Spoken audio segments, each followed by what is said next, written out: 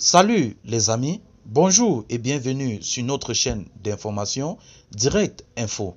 Alors, si vous êtes nouveau, abonnez-vous sur la page et surtout, activez la petite cloche de notification pour ne rater aucune de nos épisodes d'information. Mesdames et messieurs, nous allons prendre un pan aux côtés de la frontière entre le Mali et le Burkina Faso avec euh, notamment euh, cette information qui est à notre portée la situation sécuritaire que prévaut au niveau de Burkina Faso et au Mali, Damiba et Assimi Goïta sont à dos au mur.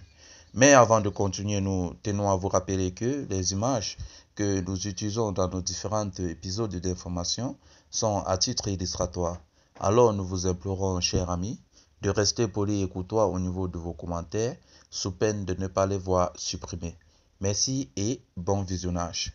Comme nous l'avons dit à l'entame de nos propos, la situation sécuritaire dans les deux pays voisins du Sahel, en l'occurrence le Burkina Faso et le Mali, va de Charib, en Silla. En témoignent les deux boucheries que les deux armées viennent de subir.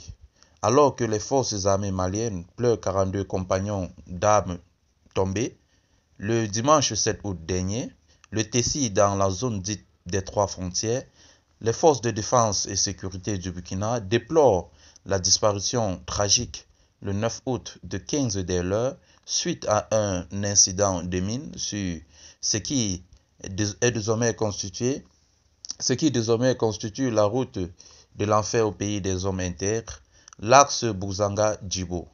Ces massacres qui sont devenus le lot quotidien des unités combattantes des deux pays ne sont cependant que la partie visible de l'ISECB terroriste qui se rapproche dangereusement des différentes capitales Ouagadougou et Bamako, sans que rien ne semble arrêter la déferlante.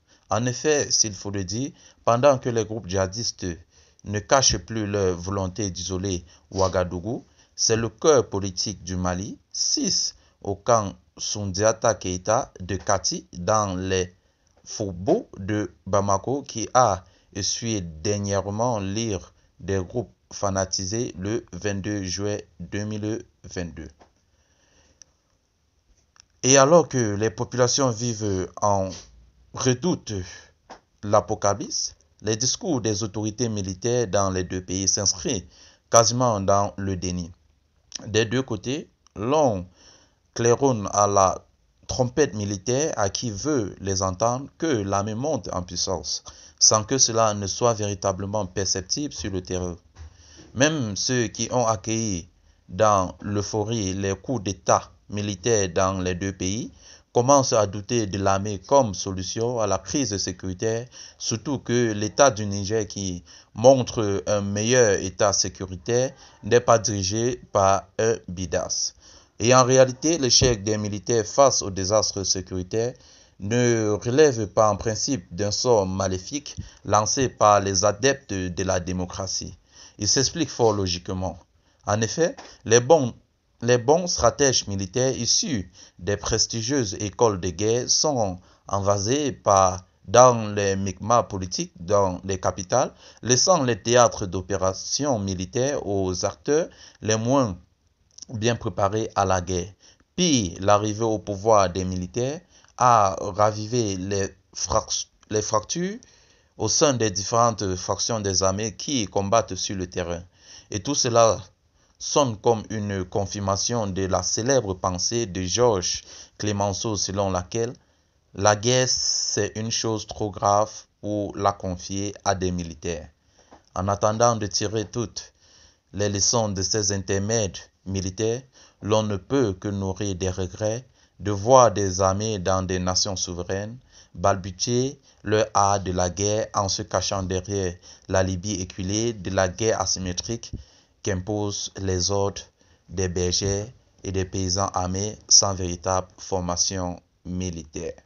Alors, chers amis, c'est ici que s'achève cette note d'information. Nous y reviendrons pour plus d'affirmations. Mais avant que nous ne mettons un thème à cet autre épisode d'information, nous implorons tous ceux qui sont nouveaux d'activer cette petite cloche de notification afin de ne rater aucun épisode de nos informations. Merci et bye bye.